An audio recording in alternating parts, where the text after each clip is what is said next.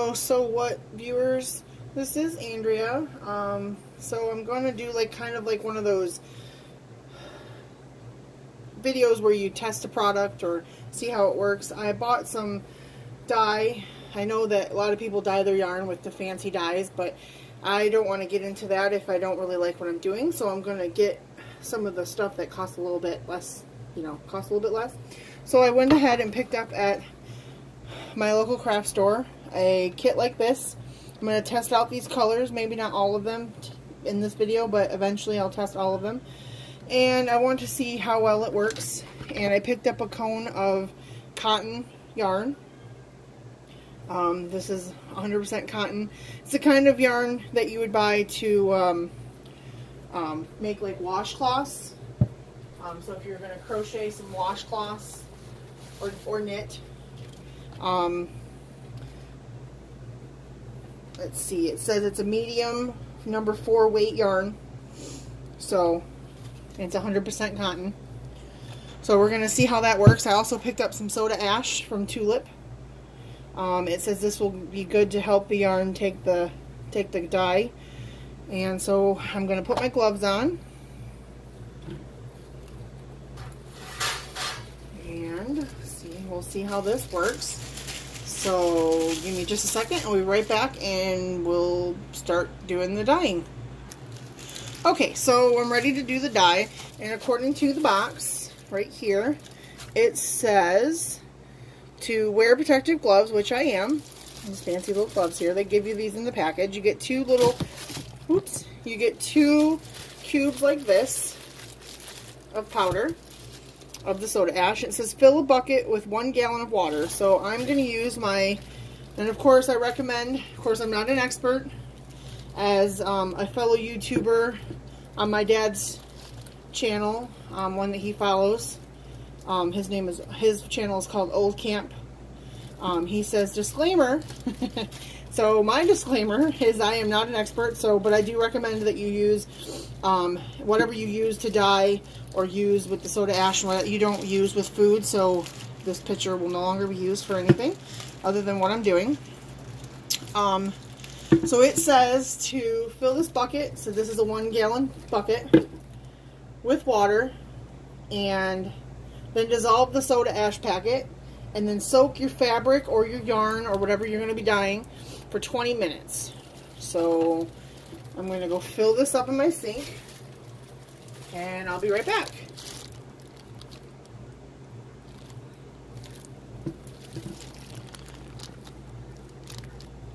Okay, so I've got the water in my bucket here, as you can see. Now I'm going to open up the soda ash, and in case there's any flyaway powder, you know, when you open something like this, I'm going to stand back a little bit because I don't want to get that. You don't want to inhale it. I'm sure it's probably not a good thing. And it is hot today, everybody, here in Michigan. It is 91 degrees, which, you know, anybody who's from here knows that we have stuff like that, but usually it's like in August for like a week, and it's been like every week since, I don't know, beginning, uh, end of May, just before May. So yeah, it's been pretty hot. All right, so I'm going to clip the edge here, a hole here. And then I'm just going to pour it in. And just like I said, I have a spatula that I have specially for this, so it's not going to be used around food. Just going to dump it in. Dump it in. You take the whole, you put the whole packet in. And then I didn't cut a big enough hole, so it's taking me a minute. So just give me one second here to get this all out of here. Can see it going down in there. You're like, hurry up, you should have put it in a hole. Alrighty, come on.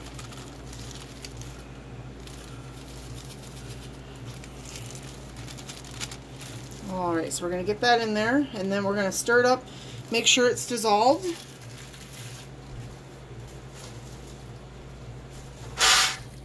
So I'm going to take my spatula here, and I'm going to stir it up really good. And then we're going to get our yarn ready for the mix. And what I'm going to do is take a yardstick. because I want to make these in little hank sizes. I don't want to do the whole cone because I want to do different colors. So I'm going to take a yardstick and I'll, we'll get to that and I'll show you how we do that. And I'm going to make some hanks to, to do that with.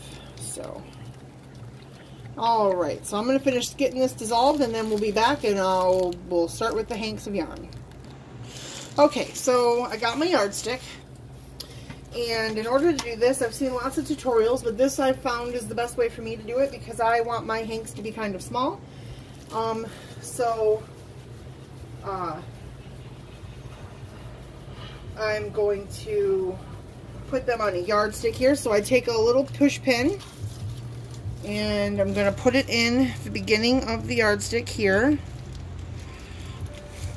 And then I put one down at the other end as well. And I'm going to wrap my yarn around. And I'm not sure, I think I'm going to, I'm going to look up, I'm probably going to make the hanks about as big as as much you need for a, for a dishcloth. Um, and then we'll tie them up and stick them in the mixture. And in just a minute, I'll be back and we'll start. Alright, so I just want to show you guys the process. I'm at, um, I had my son look up for me how much you need for one washcloth. So I'm at 37 yards right now because you need 100 for one washcloth. And as you can see, I'm just wrapping the yarn on the yardstick around the two pins back and forth counting as I go. So I will meet you back here when I get to the end. Alright, so I'm almost done here. I got a couple more rounds to go.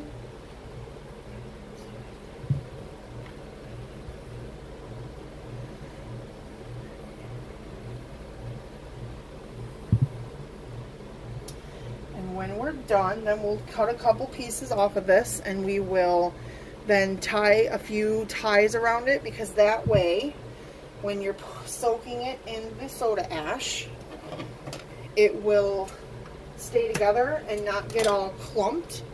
Like, you know, when you're sewing and you get all those knots. Well, if I were to put these into this Linda like that, I'd have a big old knot ball.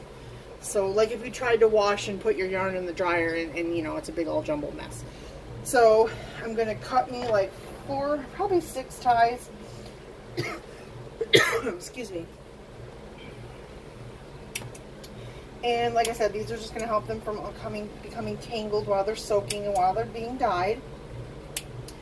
And if you, you're, depending on how you're going to dye your, your yarn, um, you're going to need to decide because if you don't want to tie them too tight, if you want that not that spot. It's kind of like tie-dye. If you put the rubber band too tight in that spot, it's going to keep it white.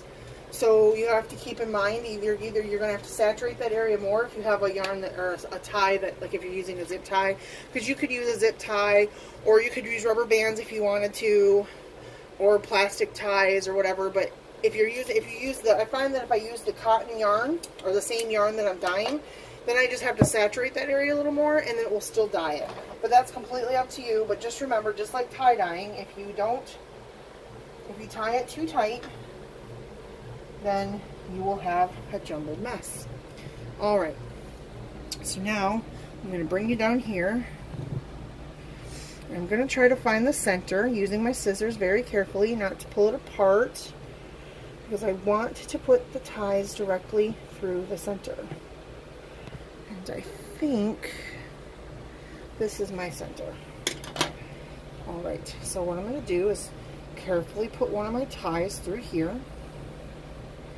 And then just tie it. You don't need to really knot it, but you just want it not to come off either. So I would just tie it twice like that. And then what you also want to do is to tie your ends together.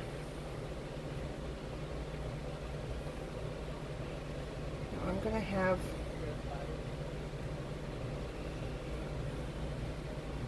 I'm going to tie them like this.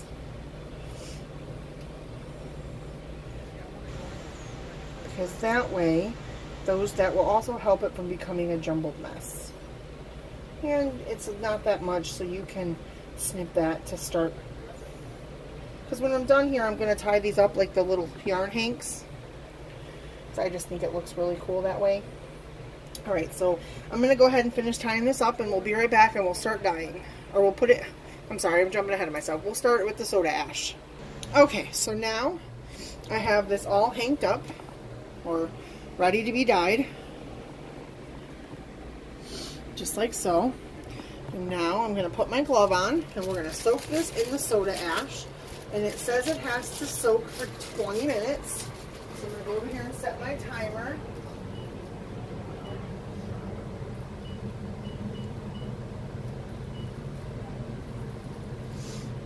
Alright, and then so we're to take this and we're going to completely submerge it into the soda ash. Now make sure that you're wearing your glove. I just think it's a good idea and I use this to kind of help submerge it and you can then use your spatula to hold it down to keep it submerged. Um, you could also pour this if you had a pan that you're again like I said not using for food. Um, you could lay a bunch of these out maybe get some of those foil pans and then pour this mixture in over all of your hanks laying in there. Um, and then you then will have um, you have you can do more than one at once. So, all right, uh, we'll be back here in 20 minutes, and then we will pull this out. And when it's done, we are we're going to start dyeing. See you back here in 20 minutes. Okay, so it's just about two more minutes to go, and so while we're finishing up waiting for the soda ash soak to finish, um, I wanted to say that, um, as always, um, all the products that I used in the video today, I will put a uh, link to um, where you can purchase them from the manufacturer um, in the description below. Um, and if you're new to the channel, welcome, and I hope you're enjoying. And if you could do me a favor and, hit that subscribe button, um, and then make sure you stay up to date with all the fun and, and craziness we'll be having on the channel. And, and, and also, if you have an idea for a video or you would like to see me demonstrate something, please comment below. I do try to read all the comments and get back to you if I can. Um, and, you know, I, you can also um, follow me on my Instagram and Facebook channel. Um, the links to those will be also be in the description. And I will probably be posting pictures of the finished products of the dyeing today on my Instagram page, so look for that. Um, and all of my hand-dyed yarns um, will be coming soon in my um, my shop, so my link to that will be on my Instagram, and I'll also put a link in the description. So thank you for watching, and we're just about ready here to finish up with the dyeing, so the timer has gone off. So what we're going to do is I'm going to take the soda ash uh, soak. I'm going to rinse this out and then we'll be right back and we'll get dyeing. Okay, so what I've done is I have taken the yarn out of the soda soap, soda ash soak, and I am going to then lay it on this contraption I've set up here. So what it is, is um, I got a baking sheet that, um, again, I'm using strictly for dyeing, and a drying rack. And this will just help with the pouring of the, you know, make it more precise and that. So, and it'll help catch all my, you know, it doesn't make a mess. So I'm going to make this like a variegated effect. So I'm going to work in sections and the colors I've chosen from the pack are this green color. And if you hear a vacuum in the background, it's my son outside. He's vacuuming his car. So, And then I'm going to use this pinkish fuchsia color. So, hoping this turns out really cute. Like I said, I'll have the picture of the finished product on my Instagram. So, stay tuned for that. Alright, so what I'm going to do, and like I said, I use the cotton yarn to make my ties. So, I'll just uh, soak those areas extra, extra, you know, extra. And if for some reason it doesn't go all the way through, that's okay because, you know, in tie-dye, it doesn't always, you know, you don't always soak everything through. You do have that little bit of white that shows through. So it'll just add to that variegated effect. So using my gloved hand, I did cheat and I don't have a glove on this hand, but um, I just find it easier to work with just one glove. That's just me. okay, so we're going to just pour the dye. And the soda ash is supposed to help it so that it soaks up your dye easier. So I'm going to just pour it on like that. Let's see if I zoom in like right there and so you can see. Zoom in a little further. Okay. So I'm just pouring it on very gradually. I'm not like, you know, being all he woman with it. But I just want to cover all of the area really good. And it doesn't take a lot. And if you want to, you can open it up, turn it around, make sure it's getting in there really good. And the reason why I have that pan underneath is to catch the drips, or if you do that and accidentally squirt it. But I'm just going to pour it, and these bottles make it so nice to give precision, so I can I can make it go where I want it. I think I'm really liking this green color.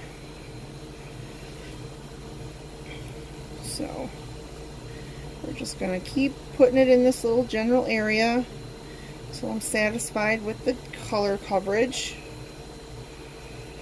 And if you want, you can kind of like squeeze it, make sure it's getting in there real good.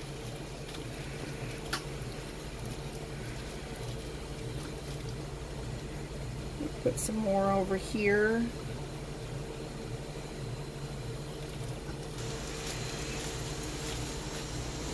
Now I haven't done it yet, but maybe that'll be a good idea for another video. Um, there's a trick you can do with the ice cubes where you set the ice cubes on top of the yarn and then you pour the, you put the powder, so no back up, so you put the powder on the yarn, sprinkle it where you want it, and then you stick the ice cubes over top and as the ice cubes melt, it creates the tie-dye look. I bet that would be really cool on some yarn. Maybe we should do that for a video. If you like that idea, go ahead and comment below and tell me, yes, let's do that. okay, so I'm going to zoom back out here. Alright, so what I'm going to do now is I'm going to scoop my yarn around. I have this towel that I don't care that gets dirty. I'm just going to wipe my hands on it so I don't get green where I don't want it. And if you do, it's okay because maybe it'll look cool that way. Alright, so then I'm going to leave a little bit of this white because like I said, I want it to be that variegated look. So we're going to scoop this around. Alright, so now I'm going to take my pink and we're going to do some pink. So let me open the pink.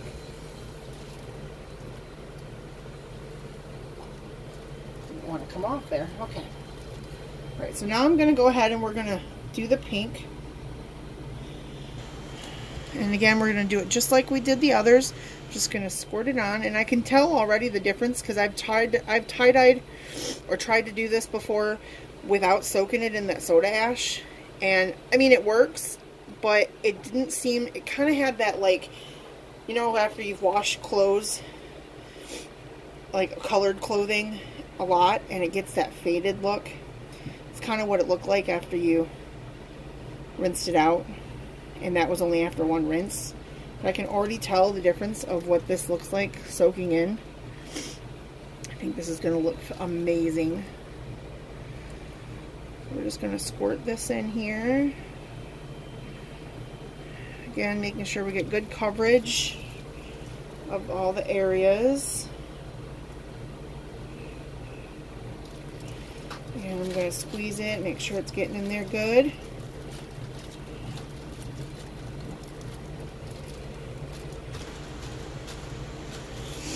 I'm going to go all the way to this tie here. Now, if it isn't perfect, the best thing about this is it doesn't have to be perfect. Um, you know, when you buy yarn or variegated yarn in the store from the manufacturers, there's always these spots where it looks like the dye dripped or dyed on other spots, and that's okay because it just it just it just adds to the tie dye effect of the variegated yarn. I think I'm going to put a little bit more red in here. I'm really loving this fuchsia purple color. It's really an awesome. This would be a great hair color, I think. I don't know. I'm not opposed to putting weird colors in my hair. I think this would be a cool color. I wonder if this would work for hair dye. Probably not. Probably not a good idea. Don't do that. Alright. I'm thinking this looks pretty good and you can always flip it over and check. Oh, I'm going to add some more right there. Yeah, this is definitely working out quite awesome. Cannot wait to see what it looks like when it's done. So I know this is this is fabric dye for like fabric t-shirts, you know, most people use it to dye t-shirts, but I decided, hey, this yarn is cotton, no different than a cotton t-shirt, and so why not give it a try? You never know until you try. Alrighty, so now I'm going to turn it again, get my yarn turned around, and then go back with the green color,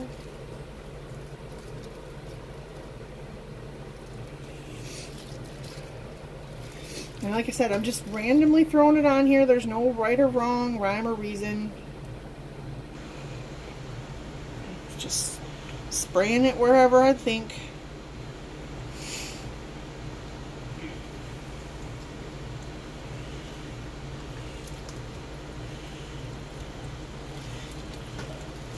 And this dye goes a long way. So you could do several, sev probably several hanks of this just is amazing.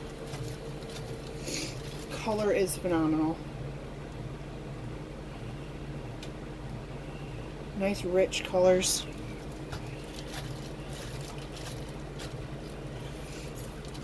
Alright, so then I'm going to do some more red over here.